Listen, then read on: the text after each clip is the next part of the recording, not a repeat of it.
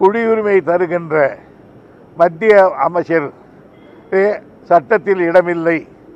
எனவே இரட்டை குடியுரிமை தர முடியாது என்று சொல்லுகிற பொழுது இங்கே இருக்கிற அமைச்சர் இவருக்கு எந்த அதிகாரமும் கிடையாது.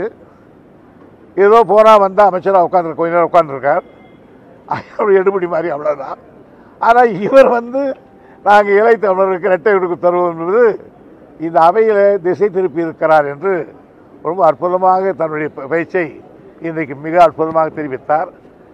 அதற்கு பதில் சொல்ல வந்த மந்திரி இதையெல்லாம் ஒரே வரியில் சொல்வதற்கு பதில் சொல்ல முடியாமல் ஏதோதோ சட்ட உரிமை என்றால் இலங்கை என்றால் இலங்கையில் சாஸ்திரி சிவமா பண்டாரநாயகன்றது முள்ளிவாய்க்கால் வரைந்து பேசிக்கொண்டு போனாரே தவிர இதற்கு பதில் சொல்லவில்லை.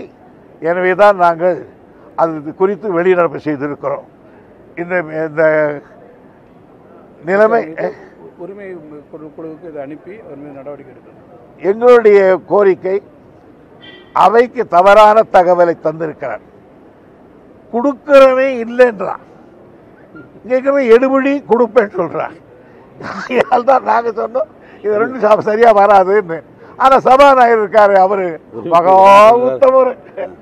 அவர் சொன்ன நான் கிட்ட போய் கூட. சார் அந்த மத்திய சர்க்காருக்கு தான் சார் அந்த பவர் உண்டு. அவரே முடியல இந்த ஆள் சொல்கிறேன் இதெல்லாம் சொல்லி விட்டுருங்க நான் வேணா மன்னிச்சு விட்டுருவோம் அப்படின்னு. இல்லை இல்லை. அவர் சொன்னதான் நியாயம்னு சொல்கிறாரு இப்பேற்பட்டவரை என்ன பண்ண முடியும்? ரைட்.